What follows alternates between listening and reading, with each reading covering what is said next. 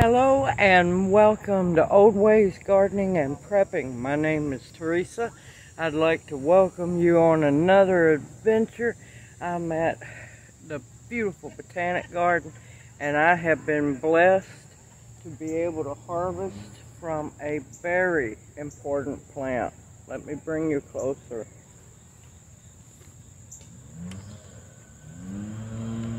Extremely important female herb. This is chaste tree, also known as vitex, also known as monk pepper. There's a reason behind the monk pepper. Uh, extremely wonderful for uh, helping with hormone balance as well as regulating menstrual cycles uh, cramp reliever, bloat reliever, uh, helps women going into menopause with hot flashes. It has been studied that it also helps with memory loss when you start going into menopause. Now, what I will be doing is harvesting these beautiful berries. Monk berries. The reason why it's called monk berries is back in the day. This was, uh, it has become naturalized in America, but, well, North America, it was more grown in Greece, your Middle East, and through Asia. The reason it's called monk berries or monk pepper is they would dry the berries, grind it up, use it as um, pepper because it does have a peppery taste. And it also, since it's a female herb, would, well, kill their libido and, uh, yeah, would take away any sexual desires for men. So be careful, men, if you use this. Now, I will go into more detail once I get it back home and uh, talk more about it and I'm going to use a glove. I'm going to show you two ways that I'm going to harvest it. And you want a good clean bucket or bath. Well, solid. You want a solid container. I got a big old five gallon bucket. And what you're going to do is grab it with one hand. Strip it with the other. Now, since I'm at the Botanic Garden and everything has to look nice and neat, I'm going to just go on and trim the heads off so it looks nice and neat. And I will strip the berries when I get home. So, I have a whole lot of harvesting to do. They can get huge they can get up to over 15 feet tall. Hopefully the sun will work with me. See, this is the base of it, and it goes all the way up there, and unfortunately, I can't get to those. If I had a cherry picker, I would be up there harvesting them. Now, I will bring you back once I get home, and we'll discuss more. I'll see y'all later on. Well, try my hand that don't have a glove. Okay, we made it back home. We were blessed with one and a half five gallon buckets of the Vitex berries. Now, granted, if it's your plant, your tree at the house or on your property, you want to strip it off the tree like that and leave it on the, leave the berries on the tree. You just grip the stem and pull them right off and they'll break up.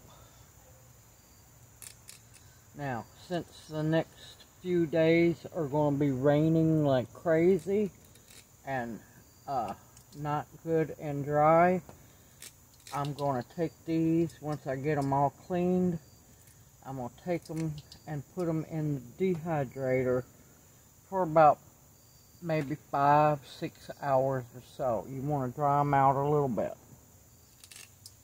Now if I have, uh, which I know I'm going to have a big ex excess of them, I'm going to go on and let them dry, let those dry in the dehydrator so I can store them. But, yep, you just hold the, you don't want to get any leaves, you're just going for the, the berries. You just strip them right off. And they come off fairly easy. And you want to make sure that it's, that the berries have fully formed. Let's hope you can see it. I know we're running out of light. But you want the berries fully formed. Make sure that they look like little peppercorns is what you're looking for.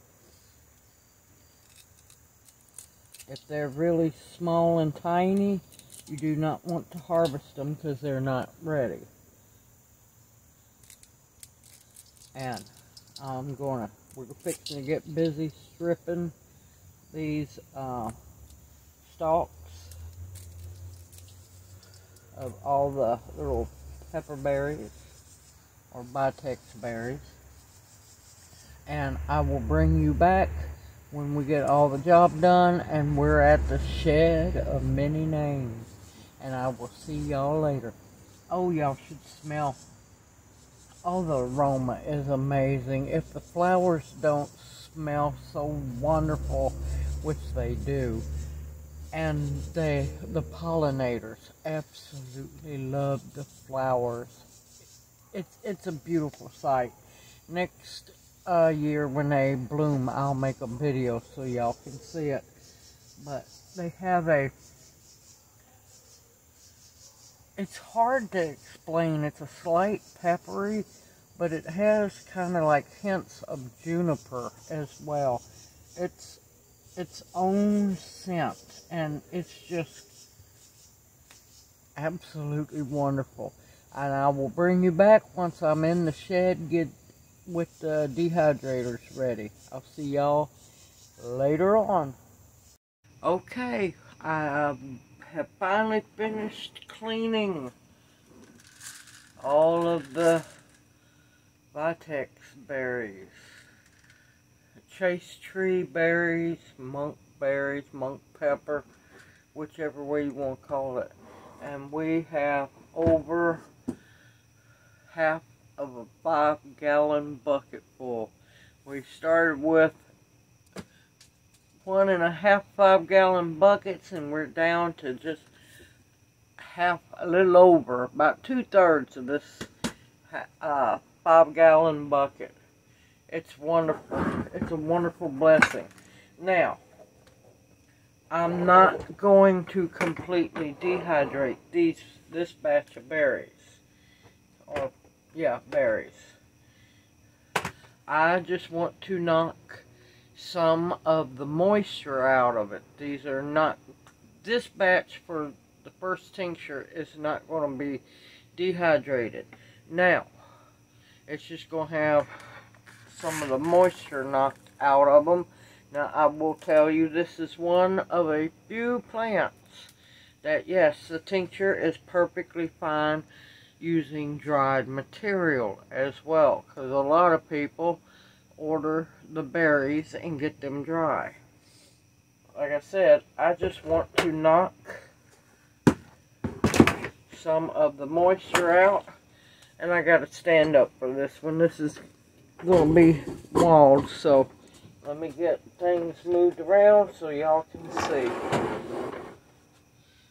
Put those up there for now. Okay, this is my airflow dehydrator and I'm going to put a canning jar lid in the center so that they do not fall through as I load load the trays.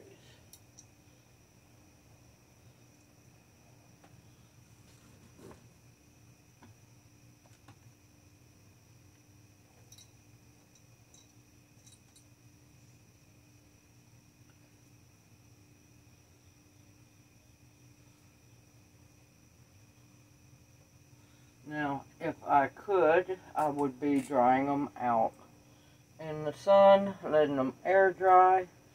But, yeah, that's not happening here.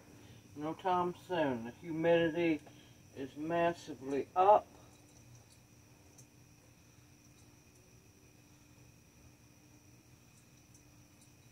And there hasn't been a whole lot of sunshine shining, so. And I'm not going to load my trays real heavy. I only have enough alcohol to make one batch, so.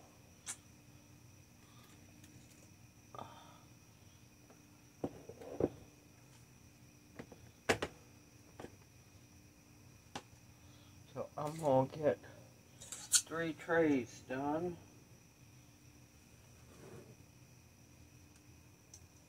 Now, like I said, this is a wonderful, wonderful female herb. Now, one downfall of it, if you are on, uh, well, there's two downfalls. If you are already on, um,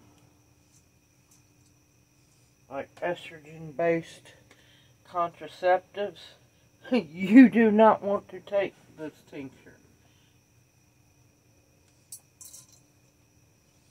You need to be careful while taking this tincture because it will boost up your estrogen to, uh, to stabilize your uh, periods, your cycles, to make them regular, to take away cramps. And also you need to be very careful if you have uh, the form of cancer that uh, is estrogen, you know, estrogen boosted up. So be careful with that as well.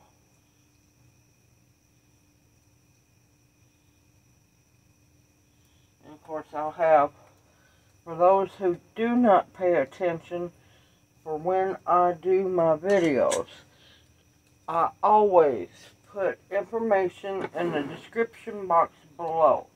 Medicinal information. Now, granted, I do not always put all the information in because, well, I want y'all to do your own research as well. We are now living in a society that thinks all information and everything should be handed to them. Just here. All the years and work I've studied and done here, I don't want you to have to do. No, that's the farthest from the truth with me. Get motivated. Do your own research. That's why I don't put everything in the description box. You do not learn things if you just have them handed to you. If you do the research as well. Now, I do put most, most, not all, of the important information in the description box below the videos. I'm not going to put all of it because I expect people to do their own research. Make sure that it's the right medicine for you. Just because it's right for somebody else doesn't mean it's going to be right for everyone.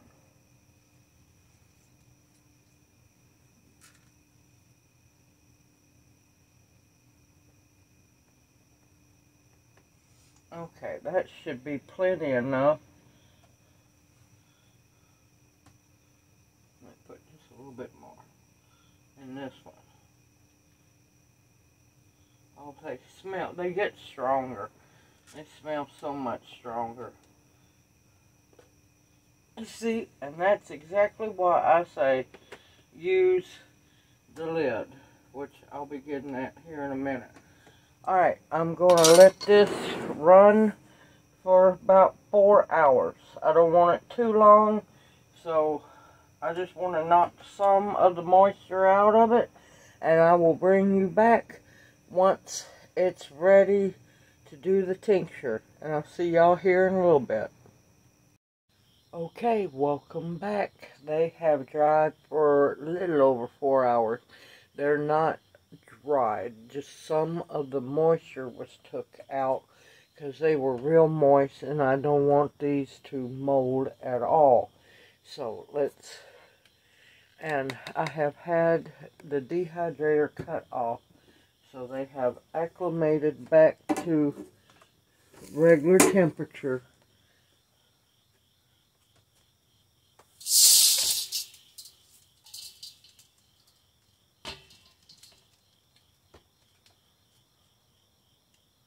I'm not going to clean my trays extremely well because I'm going to dehydrate all the other ones overnight because I do want them dry.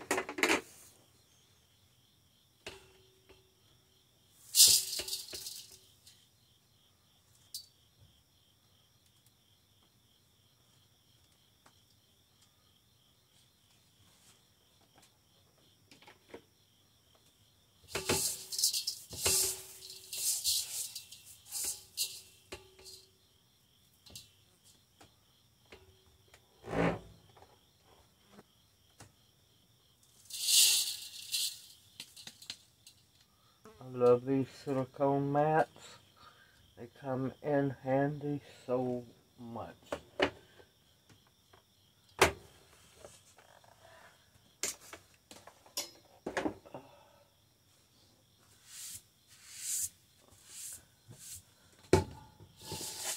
I'm going to have more than enough to make one half gallon batch a beautiful Vitex tincture.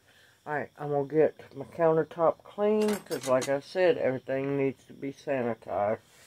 I'm going to get my countertop clean, get my clean jar ready, get the alcohol ready, and I will bring you right back and we're going to make uh, half a gallon of Vitex tincture.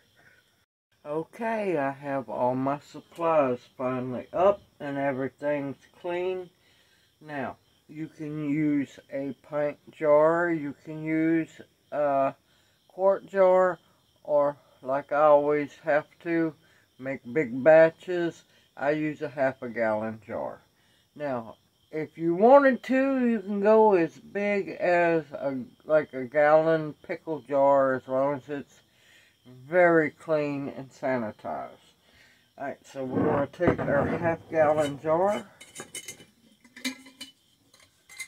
and it's always best to use a funnel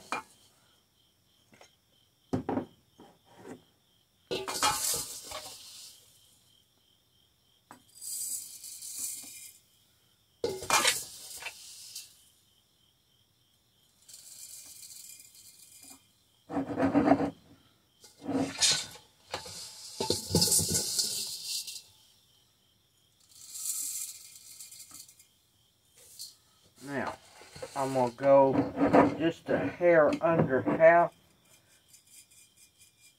because these berries will swell back up.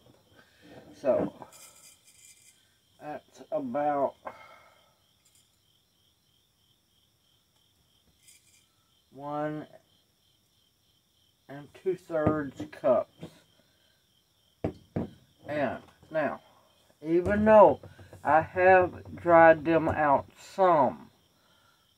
They are still green. So, well not green, they're not dry. So, still use a 100 proof vodka. 50% alcohol, 50% water. It makes a perfect balance tincture. Now, if you're using the dried Vitex berries, you can get away with 80 proof vodka.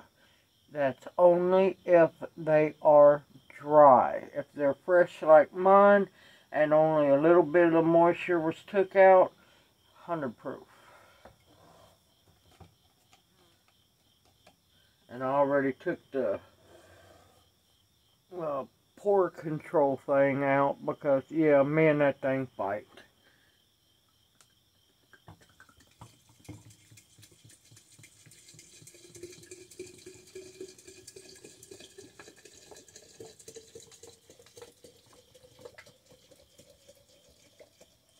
And I'm going to stop it here because you can see that they're all combined together. And I'm fixing to make that little party stop. And like I said, they will swell back up once they get once they start soaking in the alcohol.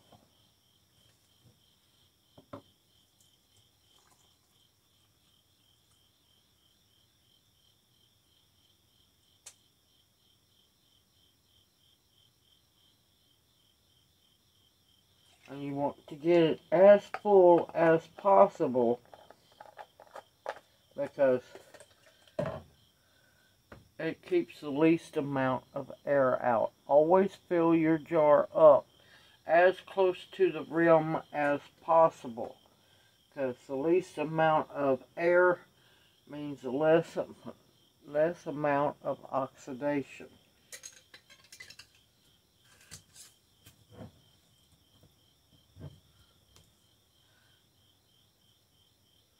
You want to make sure you get any air pockets out.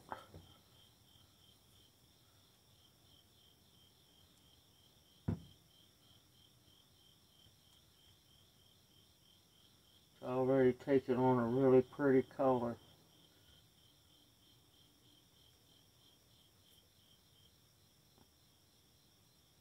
Now this is one you're going to have to keep your eyes on. I'm going to give it a couple of days because I know the alcohol level is going to go down in the jar. And I will just keep topping it off until these berries are done soaking in the alcohol and then that way later on they can release alcohol. Now you're definitely going to want to agitate it every day or so because you want to make sure that all those berries are getting soaked in alcohol. This is one of those that you have to keep an eye on and make sure, because watch them, poop right back up to the top. Don't worry about any of this floating around. That's perfectly fine and normal because after eight weeks, not before eight weeks, after eight weeks, it can be eight on the exact eight week day. It can be three months later, four months later, whenever you need it. Strain it out because you're not going to be able to get a dropper down in here without getting some of the sediment out or the berries. Now, after eight weeks, I will bring you back and we will strain it. Can I guarantee you it'll be on the exact eight week mark? No. But I can guarantee it's going to be after eight weeks. Or at least or after eight weeks. Now, here's the important part. You always want to have a Sharpie marker on your lid. You're going to write Vitex tincture. And we made it on 9-11-22. Eight weeks from this day is when this tincture will be ready. Not before, but after. Now, of course, I'll have more medicinal information in the description box below this video and every single video I make there is information about something in the description box. If it's a tincture, the medicinal benefits. If it's a cooking video, it's the recipe and comments and other things. Simple, easy, as long as you have the all these ingredients, which is just two ingredients, you can make a very good feminine tonic. Men, you can take it, but yeah, uh, no. Yeah, it's about as bad, well, it's same as taking saltpeter, and you, you don't want to take that either. Unless you just, you know, have to. But yeah, simple, easy. Anyone can make a tincture.